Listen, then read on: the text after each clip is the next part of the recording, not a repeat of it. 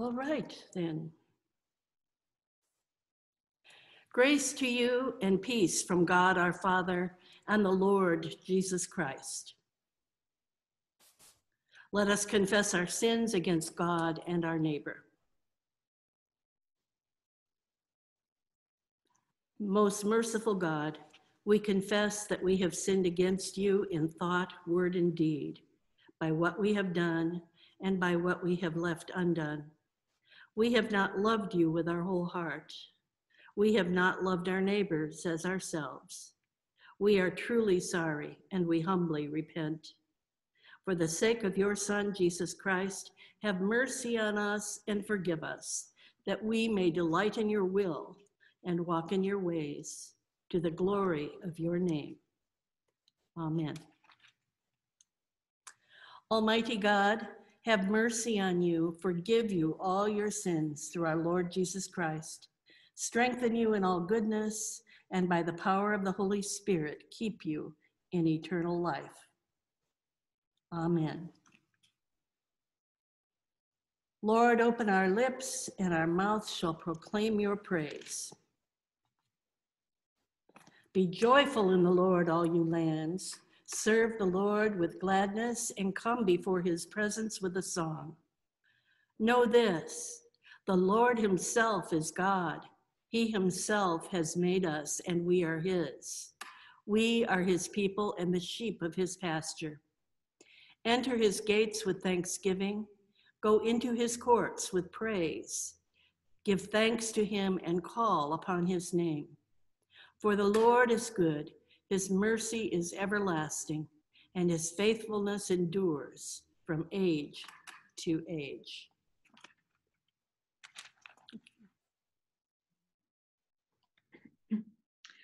The psalm for this morning is Psalm 11. If you'd like to follow along, it's on page 596.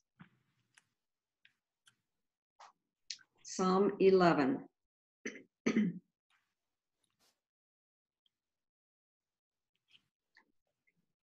In the Lord have I taken refuge. How then can you say to me, Fly away like a bird to the hilltop? For see how the wicked bend the, the bow, bow and fit their arrows to the string, to shoot from ambush at the true of heart. When the foundations are being destroyed, what can the righteous do? The Lord is in his holy temple. The Lord's throne is in heaven. His eyes behold the inhabited world. His piercing eye weighs our worth. The Lord weighs the righteous as well as the wicked, but those who delight in violence he abhors. Upon the wicked he shall rain coals of fire and burning sulfur. A scorching wind shall be their lot. For the Lord is righteous. He delights in righteous deeds, and the just shall see his face.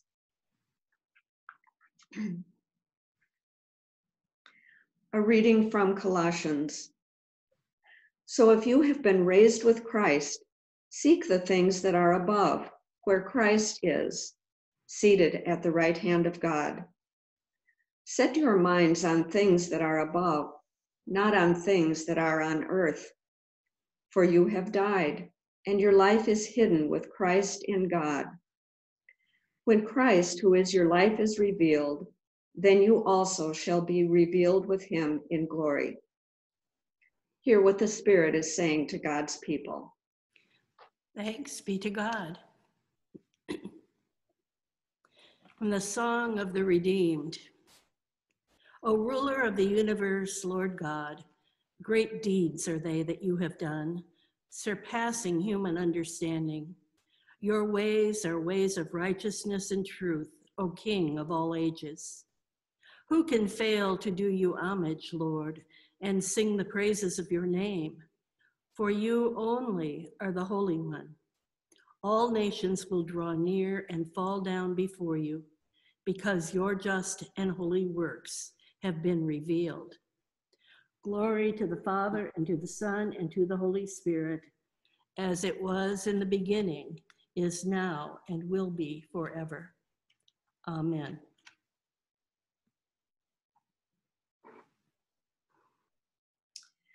A reading from John.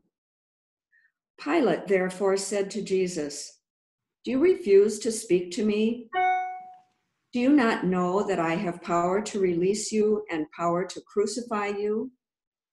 Jesus answered him, You would have no power over me unless it had been given you from above. Therefore, the one who handed me over to you is guilty of a greater sin. From then on, Pilate tried to release him, but the Jews cried out, If you release this man, you are no friend of the emperor. Everyone who claims to be a king sets himself against the emperor. When Pilate heard these words, he brought Jesus outside and sat on the judge's bench at a place called the stone pavement, or in Hebrew, Gabbatha. Now it was the day of preparation for the Passover, and it was about noon. He said to the Jews, Here is your king. They cried out, Away with him! Away with him! Crucify him! Pilate asked them, Shall I crucify your king? The chief priests answered, We have no king but the emperor. Hear what the Spirit is saying to God's people. Thanks be to God.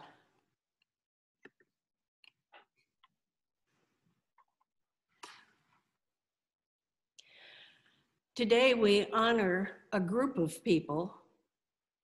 Turns out there are quite a lot of them, but in particular, there are five, all of whom during World War II did something to um, save the Jews who were escaping from the Nazis. Some of these were diplomats, and in addition to finding them safe routes, safe places to stay, many of them were able to provide them with uh, official documentation that assisted them in getting away. The, the five people today who, who together are called the, uh, the righteous Gentiles and are honored in Jerusalem at uh, Yad Vashem, the Holocaust Memorial um, are representative of about 23,000 others who have been co considered to be involved in this effort. One, uh, Raoul Wallenberg, who was a Lutheran, was a Swedish humanitarian and diplomat. Hiram Bingham IV was an Episcopalian and an American diplomat. Carl Lutz was an evangelical, a Swiss diplomat in, diplomat in Budapest. Um, Shun Sugihara was an Orthodox Christian and was serving as the Japanese consul in Lithuania. And Andre Trocmé and his wife Magda, who were Reformed Christians in France. Now, I don't know a long uh, story of each of these people except for the last couple that I mentioned, Andre and Magda Trocmé. And the reason I know about them is that in my very last semester of seminary, I took a class that was called Good and Evil, uh, in which we examined what evil is what good is, some of the philosophical backgrounds on all, all of that, but probably the most meaningful part was examples of people who embodied, uh, well, particularly good in the case of the Trocmés. And um, one of the books we were required to read was um, a study by a professor it was uh, called Lest Innocent Blood Be Shed, which was later made into a documentary film. And the purpose of this book was to examine how it is that goodness can happen, even in the midst of profound evil. And um, this pastor was in a little French mountain village in the southeast of France, and he and his wife inspired the 3,000 residents of that town, so not too much smaller than Galena, uh, to provide the shelter for more than 5,000 Jewish refugees during the war. The book has a subtitle called The Story of the Village of La Chambon and How Goodness Happened There. Uh, the village, Le Chambon-sur-Lignon, was in the mountains, not uh, maybe 40 kilometers from the city of Lyon. And over this four year period, while the Vichy French were cooperating with the Nazis and deporting Jews to concentration camps, these simple Protestant farmers performed great acts of courage. They boarded, they nourished, and they educated children of deported parents, accompanied families through a network of safe houses to get them out of France, and even became expert forgers. There were several stories that stood out from that town. Boy Scouts and Sunday school teachers silently fanning out through the village and its surroundings to warn the refugees to go into hiding. And they hid them so well that three weeks of searching failed to find them. The pastor's wife, Magda, served dinner to the police who came to arrest her husband and his two compatriots. Later, she was asked why she gave them food while they were taking her husband away to an internment camp and perhaps to his death. And her answer was, What are you talking about? It was dinner time. They were standing in my way, and we were all hungry, and the food was ready. Later, as Andre and the two men were walking to the town square with the police who had arrested them, the village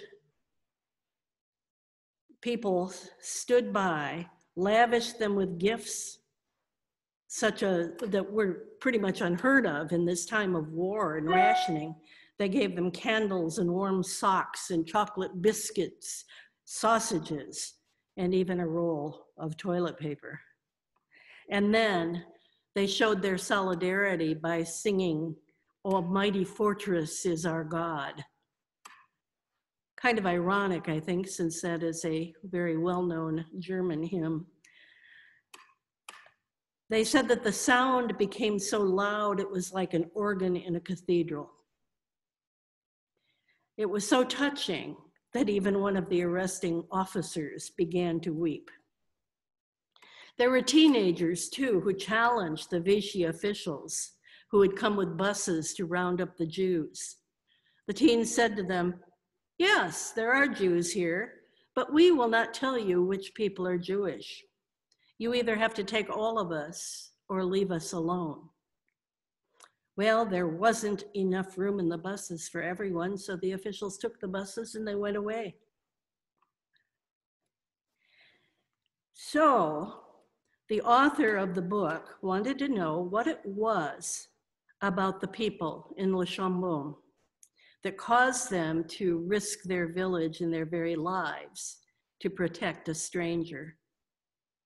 How was it that this, what they called a kitchen struggle, a guerrilla action that began in the privacy of, of individual homes, why was it able to resist a great military power? The conclusion of the study was that it had nothing to do with a patriotic effort or a struggle to liberate their country or their village. Instead, it stemmed from a very deep conviction that human life is too precious to be taken for any reason, and a belief that it is better to help without harming or without destroying lives. And ultimately, it was based on the biblical commandment, thou shalt not kill, and embodied in the life and the death of Jesus. It seems that the actions of these villagers created its own momentum, a conspiracy, a conspiracy of goodness that rubbed off on others who observed it, including the Vichy commander and a German commandant who chose to look the other way.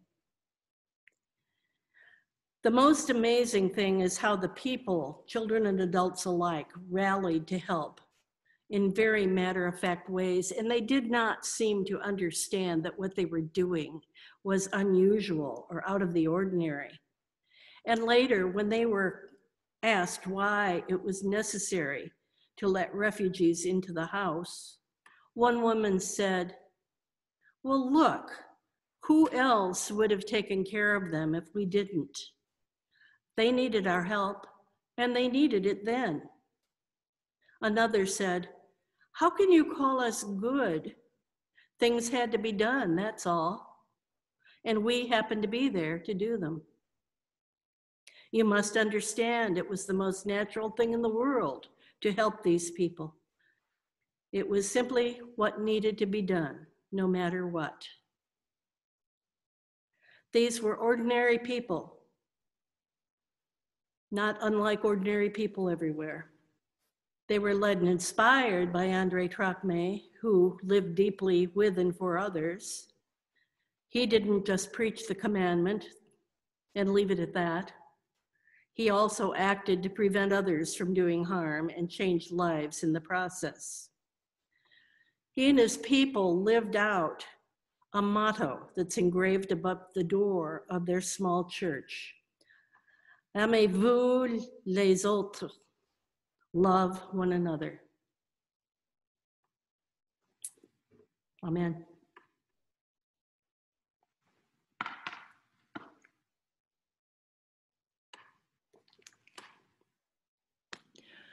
Let us express our faith by saying together the Apostles' Creed. I believe in God, the Father, the Almighty creator of heaven and earth. I believe in Jesus Christ, his only Son, our Lord. He was conceived by the power of the Holy Spirit and born of the Virgin Mary. He suffered under Pontius Pilate, was crucified, died, and was buried. He descended to the dead. On the third day, he rose again. He ascended into heaven and is seated at the right hand of the Father. He will come again to judge the living and the dead. I believe in the Holy Spirit, the Holy Catholic Church, the communion of saints, the forgiveness of sins, the resurrection of the body, and the life everlasting. Amen. The Lord be with you. And also with you. Let us pray. Our Father, who art in heaven, hallowed be thy name. Thy kingdom come, thy will be done on earth as it is in heaven. Give us this day our daily bread, and forgive us our trespasses as we forgive those who trespass against us. And lead us not into temptation, but deliver us from evil. For thine is the kingdom, and the power, and the glory forever and ever. Amen. Now on page 97, we will do the suffrages A. Show us your mercy, O Lord. And grant us your salvation. Clothe your ministers with righteousness. Let your people sing with joy. Give peace, O Lord, in all the world for only in you can we live in safety. Lord, keep the nation under your care. And guide us in the way of justice and truth. Let your way be known upon earth. Your saving health among all nations. Let not the needy, O Lord, be forgotten. Nor the hope of the poor be taken away. Create in us clean hearts, O God. and sustain us with your Holy Spirit. O God, the King eternal, whose light divides the day from night and turns the shadow of death into the morning, drive far from us all wrong desires. Incline our hearts to keep your law and guide our feet into the way of peace, that having done your will with cheerfulness during the day, we may, when night comes, rejoice to give you thanks through Jesus Christ our Lord. Amen. O God, the author of peace and lover of concord, to know you is eternal life, and to serve you is perfect freedom. Defend us, your humble servants, in all assaults of our enemies, that we, surely trusting in your defense, may not fear the power of any adversaries. Through the might of Jesus Christ our Lord. Amen. O God, you have made of one blood all the peoples of the earth and sent your blessed Son to preach peace to those who are far off and to those who are near. Grant that people everywhere may seek after you and find you. Bring the nations into your fold.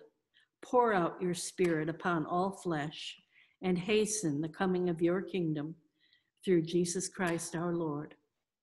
Amen.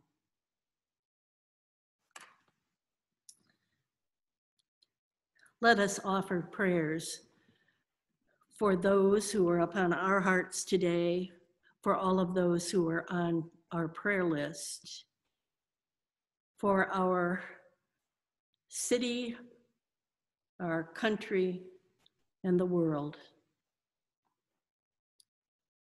We pray for all of those who are affected by COVID, whether it be by being ill by losing their lives or the lives of ones that they love, or whether it's losing their livelihood, being unemployed or underemployed during this time.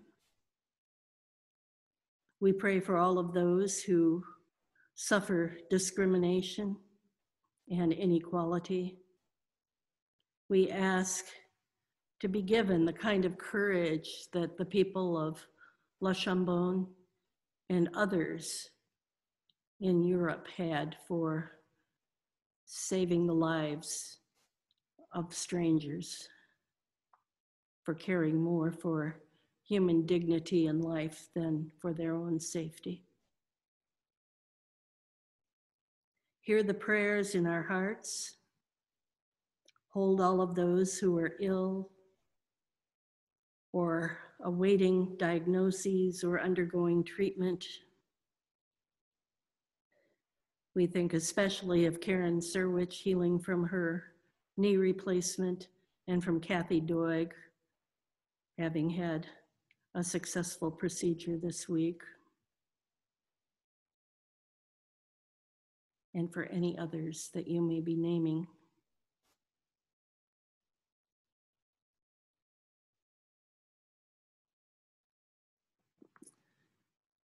We ask all of these things, O Lord, in the name of your Son, Jesus Christ our Lord. Amen. The general thanksgiving is found on page 101. Almighty God, Father of all mercies, we, your unworthy servants, give you humble thanks for all your goodness and loving kindness to us and to all whom you have made. We bless you for our creation, preservation, and all the blessings of this life, but above all for your immeasurable love in the redemption of the world by our Lord Jesus Christ, for the means of grace and for the hope of glory. And we pray, give us such an awareness of your mercies that with truly thankful hearts, we may show forth your praise, not only with our lips, but in our lives by giving up ourselves to your service and by walking before you in holiness and righteousness all our days. Through Jesus Christ our Lord, to whom with you and the Holy Spirit be honor and glory throughout all ages. Amen. Almighty God, you have given us grace at this time with one accord to make our common supplication to you. And you have promised through your well beloved Son that when two or three are gathered together in his name, you will be in the midst of them. Fulfill now, O Lord, our desires and petitions as may be best for us, granting us in this world knowledge of your truth and in the age to come, life everlasting. Amen. Let us bless the Lord. Thanks be to God. The grace of our Lord Jesus Christ and the love of God and the fellowship of the Holy Spirit be with us all evermore. Amen. May unmute, unmute yourselves and let us share the peace amongst one another. Peace, peace, peace. God's Peace. with you. Hey, Gloria, I have uh, two questions about next Wednesday. Okay. Will there be a reservation uh, opportunity sent out, or perhaps not because we will not be at capacity if everybody comes? My intention is to do it anyway, just to practice and use you as guinea pigs once again. Okay. But yeah, you were right. We will uh, not have capacity problems with this particular group, but um, I'm still playing around with three or four different ways of doing that registration, so none of them are 100% what I'm looking for. Okay. My second question is, I know all the prayer books have been, have been removed because of our COVID restrictions. Should we bring our own prayer book? Thank you for asking that question. I was, uh, I thought about that yesterday, but not this morning. Um, I wanted to ask you, how, do people all have prayer books that they could bring? Yes. Yes. sure. Because we could do that, that would be easier. Alternatively, uh, we could create um, a bulletin. A one-time, I mean, you know, single use. Well, Alex, that- I think, One at a time. Alex, I think we all have prayer books. okay, so Raise your hand if you have a prayer book. Here's the teacher. Not coming anyway. Okay, well, I'll put that in the reminder for the, um, for the service itself then. I think she just got out the shower. Okay, any other questions? Yes. I have lots. Lots. Okay, will it, will it be a Eucharist? yes. It will, Excellent. it will be a little different though. We, we are only going to be able to use uh, wafers for a time and no wine. There will be wine consecrated, so a, a teeny bit in a chalice is, um, would be useful. Uh, The worship group is going to meet tomorrow. And um, there may be some other things that will come up for Altar Guild after that, so we will make a list and uh, I think we'll do it like Okay, we did today. Um, My intent for, uh, for the time being will be to distribute the communion the way we have done it with funerals and weddings where there are a large number of people, not at the communion rail, but at the, uh, the bottom of the chancel steps. And um, it'll be simple, reducing touching and, you know, things like that. So, okay. The, mm, hello, the callbacks aren't here.